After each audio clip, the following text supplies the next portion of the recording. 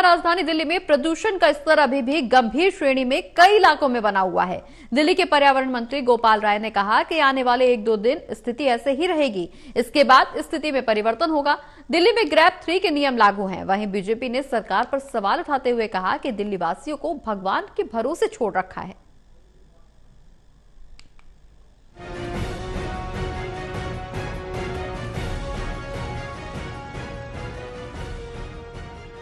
राजधानी दिल्ली में लोग जहरीली हवा में सांस लेने पर मजबूर हैं। दिल्ली के कई इलाकों में एक्यूआई 400 को पार कर गया है। गंभीर श्रेणी में पहुँचा एक क्यूआई, लोगों की परेशानी बढ़ा रहा है। केंद्रीय प्रदूषण नियंत्रण बोर्ड के मुताबिक दिल्ली के अलग अलग इलाकों में एक्यूआई 400 के पार है। जैसे कि राजधानी दिल्ली के अलीपुर में, द्वारका में पंजाबी बाग, नेहरू नगर, द्वारका सेक्टर आठ में 400 के पार दर्ज किया गया।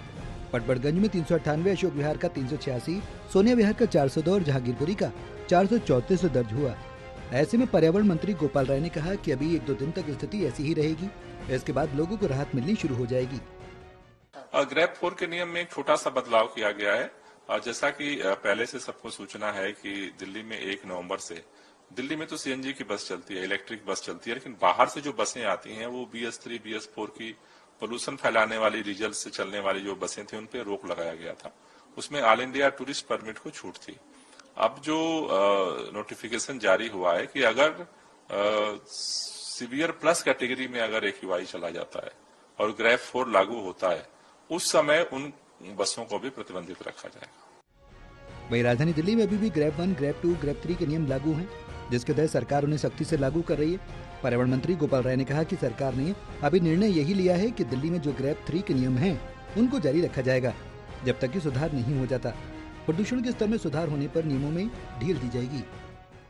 हाँ देखिए, अभी तो जिस स्थिति बनी हुई है, उसमें जो वैज्ञानिकों का कहना है कि अभी वेयर फेयर कैटेगरी जो बनी है, उसमें अभी दो तीन दिनों बाद उसमें सुधार की स्थितियाँ जो है बन रही हैं।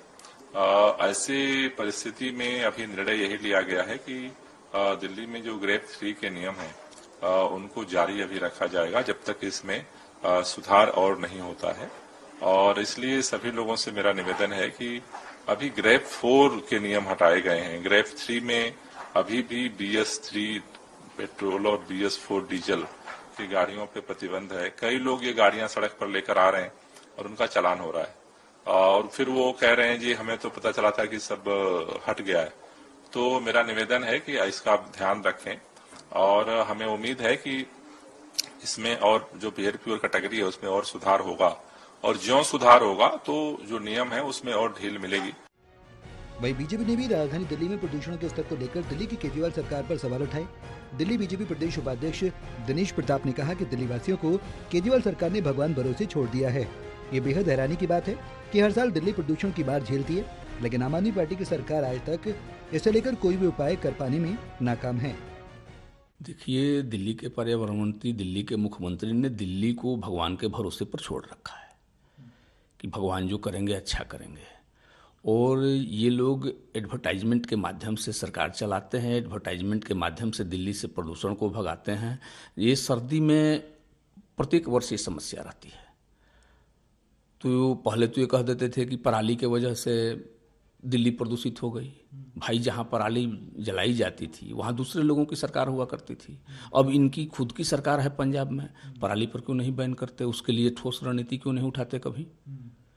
अब जब दिल्ली में प्रदूषण बढ़ गया तो दो दिन के बाद कम हो जाएगा। दो दिन के बाद कम होगा तो इनके पास वो सिस्टम क्या है जो दो दिन के बाद प्रदूषण पर नियंत्रण करेंगे?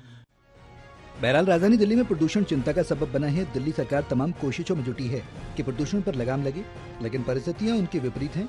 हालाँकि अनुमान लगाया जा रहा है कि अगले दो से तीन दिन में स्थिति में सुधार होगा, जिससे दिल्ली वासियों को जहरीली हवा से राहत मिल पाएगी।